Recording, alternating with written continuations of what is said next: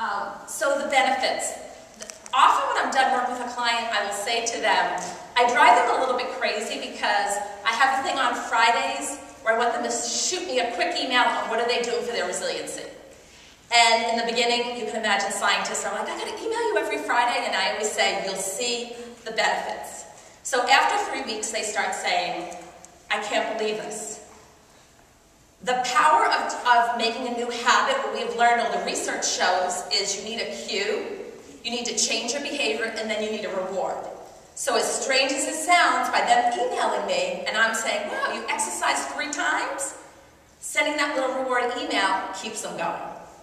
So little cues like that, it takes minimal amount of time, and when people, when they're done working with me, they'll say, you know, one of the things I really liked was how you made me spend five minutes on Friday. And I go, five minutes? They go, okay, one minute on Friday to actually email you. So these are some of the things clients have shared with me.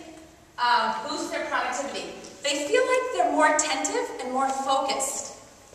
They feel like they're more energized. And I think we've all seen that um, when, we, when we're taking care of ourselves, we can feel, feel our energy that we know about the stress one. So this is where you guys play, enhance business reputation and results.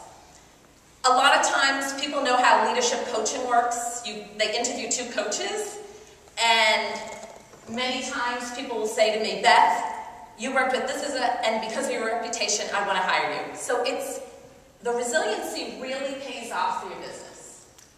And once a month I get the client who says, my boss wants me to work with you for my confidence. So besides Dale Carnegie, there's not a lot of other great stuff out there.